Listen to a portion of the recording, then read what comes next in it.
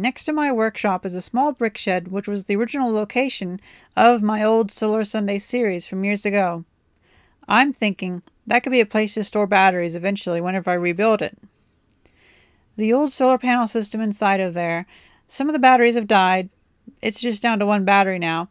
But even with just that one battery, it works that little LED light strip quite well. So I have some lead acid batteries I need to keep charged for our vehicles and jump starting and such. And I'm thinking it might be good to add those to that solar panel system just to get them charged up.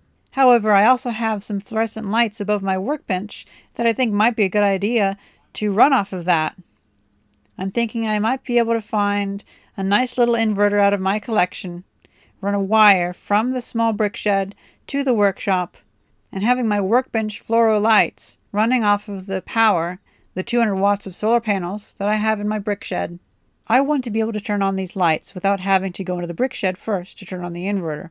So the inverter will have to be very efficiently running with very low idle current drawn. Across those three lead acid batteries, I'd expect I'd have a comfortable 1200 watt hours of usable power before I really started degrading the battery packs because I want to keep them mostly at full charge if possible.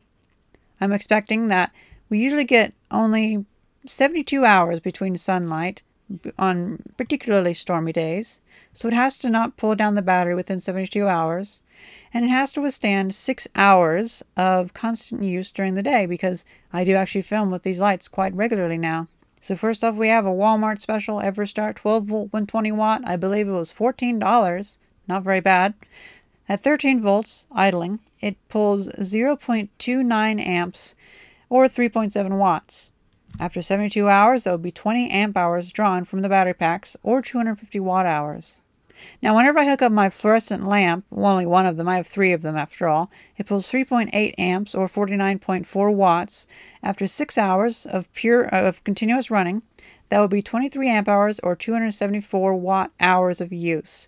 It has excessive fan noise, and whenever I plugged in my fluoro light, it had too much flickering, and I worry it would actually kill the bulb. The fan speed is set to the voltage. Then we have the Schumacher 12, oh, Schumacher? I think it's Schumacher 12 volt, 410 watt inverter, which is a little one that my old manager gave me back whenever I worked in California. At 13 volts, it pulls 0.1 amp of idle draw, or only 1.3 watts. That's almost nothing.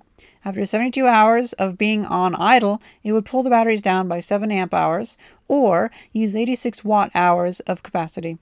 Now, whenever pl plugged in that same lamp, it only pulled 2.9 amps or 37.7 watts, quite low compared to before.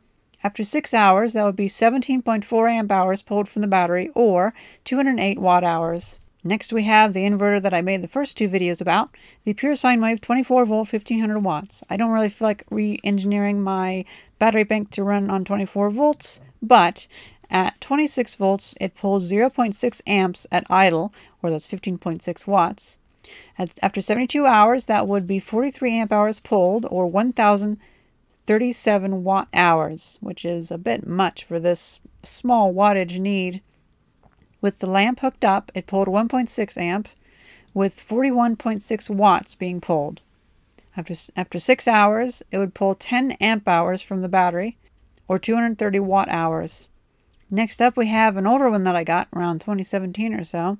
The Windy Nation VertaMax 1500 watt pure sine wave 12 volt. I'm not quite sure how to read the label on this one. There's a lot of words there. At 13 volts, it pulls 0.43 amps at idle, or 5.59 watts, which is not bad.